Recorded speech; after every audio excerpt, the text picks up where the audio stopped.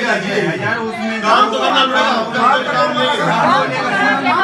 पड़ेगा बिल्कुल ये रवैया गलत है आपके पास आपका भी